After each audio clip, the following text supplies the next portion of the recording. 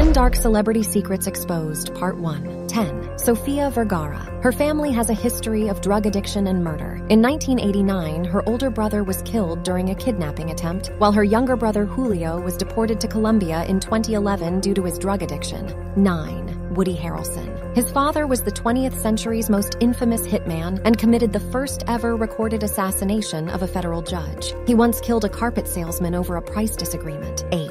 Rihanna. Rihanna's father, Ronald Fenty, had a secret second family, two daughters and a son that she knew nothing about. 7. Kathy Griffin, sexually exploited by her own brother, who was later sent to prison for physically abusing his wife and passed away there. 6. Mariah Carey. Her sister's bipolar disorder forced her to sell her body. When arrested for prostitution, she told the officers to let her go, and in return, she will give them a sweet, sweet fantasy.